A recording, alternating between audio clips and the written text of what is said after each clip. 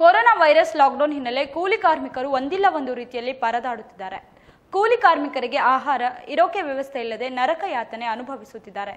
ಇದರ ಮಧ್ಯೆ ಕೂಲಿ ಕಾರ್ಮಿಕರ ಬೆಂಗಳೂರಿನಿಂದ ಉತ್ತರ ಪ್ರದೇಶಕ್ಕೆ ಸೈಕಲ್ ಮೇಲೆ ಸವಾರಿ ಹೊರಟಿದೆ.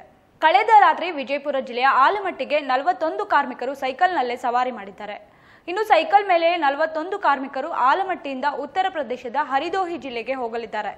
ಇನ್ನು ಆಲ್ಮಟ್ಟಿಯ ಸ್ಥಳೀಯರು ಕಾರ್ಮಿಕರಿಗೆ ಊಟದ ವ್ಯವಸ್ಥೆ ಕಲ್ಪಿಸಿದ್ದಾರೆ. ಇನ್ನು ಹಗಲು ರಾತ್ರಿ ಎನ್ನದೆ ಕಾರ್ಮಿಕರು ಸೈಕಲ್ ಸವಾರಿ ಮಾಡಿದ್ದಾರೆ.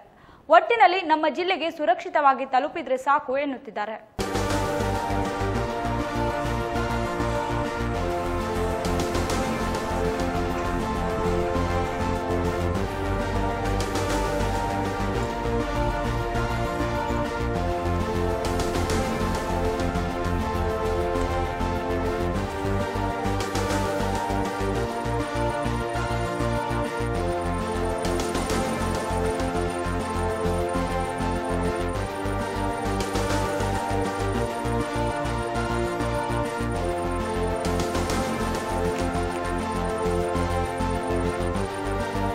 ನಿರಂತರವಾದ ಸುದ್ದಿಗೆ ಸಬ್ಸ್ಕ್ರೈಬ್ ಮಾಡಿ ಎಫ್ ನ್ಯೂಸ್ ಕನ್ನಡ ಹಾಗೂ ಬೆಲ್ ಐಕನ್ ಒತ್ತಿ ನೋಟಿಫಿಕೇಶನ್ ಖಚಿತಪಡಿಸಿಕೊಳ್ಳಿ.